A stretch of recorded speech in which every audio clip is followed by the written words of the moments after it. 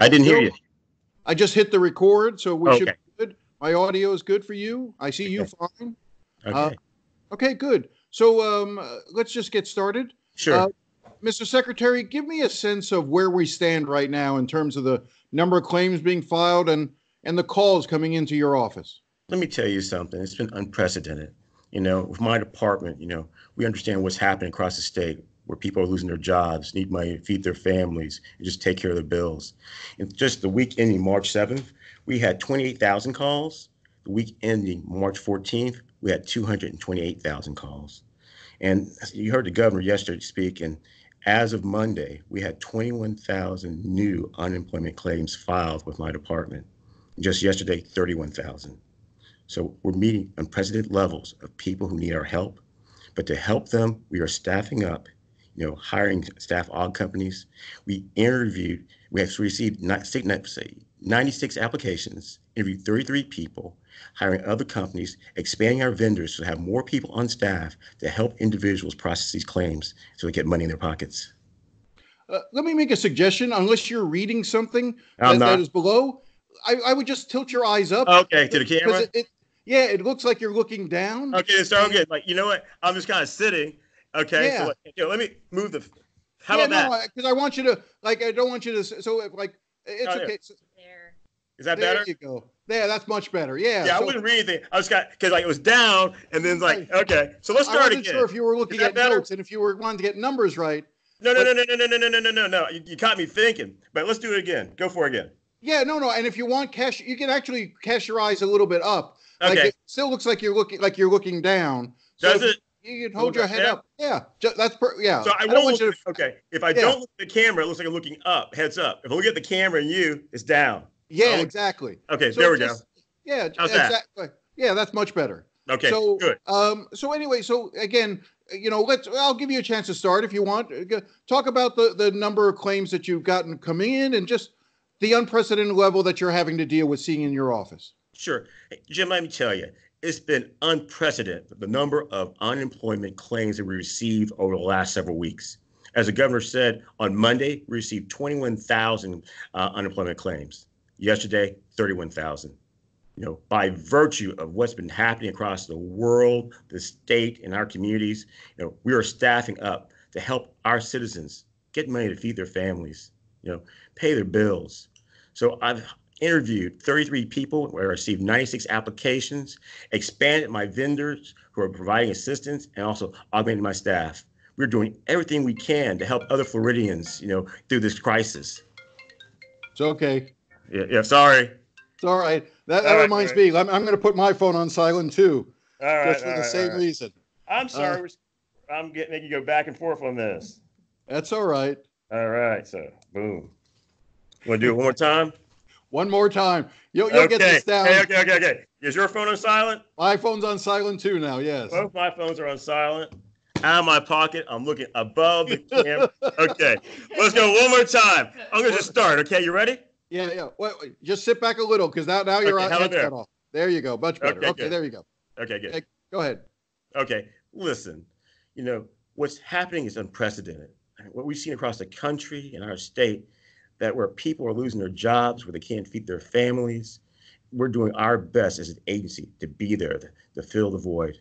In fact, as the governor said on Monday, we received 21,000 new unemployment claims, just yesterday, 31,000. But to meet this need, to ensure people can feed their families, have some money in their pockets, you know, I've I'm augmenting my staff where I've received 96 applications, interviewed 33 people so far. I've increased the number of people who are supplied to my shop through a vendor. Also, I'm looking at different companies to augment my staff to increase our times, you know, to process these applications to help people. Also, increasing the capacity on the computer system to ensure we take more applications that come through our website at floridajobs.org. But bottom line, we are committed as an agency to help our citizens during this time. Well, let me ask you this. I mean, obviously, I realize nobody can plan for something like this in terms of staffing levels. Yet we're hearing a lot of frustration from people who say they, they wake up early in the morning, start trying to call the number to get assistance, never are able to get through. That you know, you talk about hiring 33 people or interviewing 90. It, seems like you've got to ramp up a lot more, a lot faster. Are you able to do that? And how many people do you think you'll need to process all these claims? I'm hired. First, I'm going to ask our citizens to please be patient. I understand their frustration.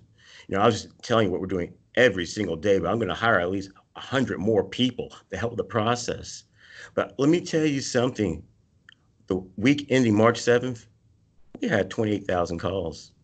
Week ending March 14th, we had 224,000 calls. So we're seeing more calls every day. But every single day, we are focused on bringing more people on board, increasing our capacity, ensuring we have more uh, capacity to help the citizens of Florida during this time. But again, we get it. We get the frustrations. But we ask our citizens to be patient because we're working hard and being very aggressive to be better and to serve everyone who needs us. There's a perception that the system that you inherited, granted, mm-hmm. you know, you didn't create this system, sure. but that the system, many of the changes that were made under the Rick Scott administration when he was governor, basically set up a, a criteria that discouraged people from actually receiving benefits. Do you believe the system, despite this, needs overhauling so that people who are unemployed will get the assistance they need? Let me tell you this. When I came in in January 2019 and to today, I've constantly made sure the system is ready for a crisis. But I never predicted a crisis like this. You know, when a hurricane hits, we realize that perhaps people need assistance. So every month, really every day since I've been here, we constantly work with IT to ensure that the system is ready for additional capacity. But this is unprecedented. We never thought that we'd see this level of applicants coming through our system. So we're working hard to keep up and to expand because whatever happens in the future, we're going to be here to help our fellow Floridians. Well, again, and I'm, ta- I'm not talking about the expansion of the system to meet the current needs. I'm talking about the underlying fundamentals of how we deal with unemployment in the state of Florida. I believe there's one study that says only about 12% of the people who are unemployed actually receive benefits in Florida. It's basically the design of the system, limiting the number of weeks, creating a system that until now you had to apply online, you had to show proof that you were seeking five jobs every week before you could qualify for benefits. That, in other words, the system was designed to discourage people from receiving the benefits they need when they when they're unemployed. Yeah, I understand the question. Well, let me tell you this: going into this crisis, unemployment was at 2.8% in January. You know, since the financial crisis 2008, we've seen you know number of jobs increase, um, job creators building companies, and seeing a strong economy leading into the situation. So, by virtue of where we've been as a state economically, the Florida legislature decided on you know how much someone can receive, number of weeks they can receive benefits. So, you know, the entire leadership structure realized that we have a strong economy and was building this for temporary relief for someone who's out of work for a short period of time. No one anticipated for a crisis like this to happen. Therefore, I, that's why we're ramping up. I understand that, but let's yeah. talk about the compensation that people do receive. Sure. Uh, again, Florida has some of the, like I'll use the word stingy, some of the stingiest benefits of any state in the country. $275 a week is about the fifth lowest in the country. Only like Alabama, Louisiana, and Mississippi rank lower than Florida in the amount of dollars that they receive. The average amount across the country is $464 a month. Florida pays 275. Florida only gives those benefits for 12 weeks. 40 states at least give 26 weeks of unemployment insurance. I realize that's not in your control, but should that be revisited, not just for this crisis, but for the long term? Should people receive more when they're unemployed? Well, I can't speak to you know whether or not the decisions made in the past were right or wrong, but I can only do with the hand I have and I'll leave to the legislature when they come back together and look at the after effect of what occurred to make decisions about the benefits of the future and also extending the time period. But right now, with the hand I've been dealt, you know, I'm going to make sure that I increase the capacity to get the money out that we have on hand. I have four billion dollars in my back pocket for this system that give people reemployment uh, assistance for 12 weeks and help as much as I can with what I have. Do you have an estimate as to how far that $4 billion will go? Could you raise benefits if the legislature came back in special session and wanted to raise the amount of benefits they received? Would you would it deplete the trust fund, or would you be able to handle that and be able to extend those benefits? You know what? I have to evaluate the numbers and get back with you. But bottom line, what I have right now, based on the parameters that exist, I can move forward for at least two years. Two years at this current rate with four billion in the trust fund. Yes, sir. Four billion. Yes. So uh, now I know that during the past economic crisis in 2008, 2009, then Governor Charlie Crist, I believe by executive order, increased the number of weeks that people could receive unemployment compensation. Have you had any discussions like that with Governor DeSantis to see if that whether or not, or have you recommended that the state consider expanding the number of weeks that a person receives unemployment during this time? Let's face it, we may not be back to normal in 12 weeks. You know what? Internally, we've had multiple conversations about various things to improve the system, and we'll make recommendations at the appropriate time. But right now, I'm focused on ensuring that I have the capacity and the staff to get money to people right now. If you could change something right now, what would you try to change? I'll get rid of this um, crisis. That's it. Oh. be honest with you. But in terms of what I'm doing, what I'm doing, what I can change is hire more people, increase the computer capacity, deal with the reality of I'm facing to help everyone.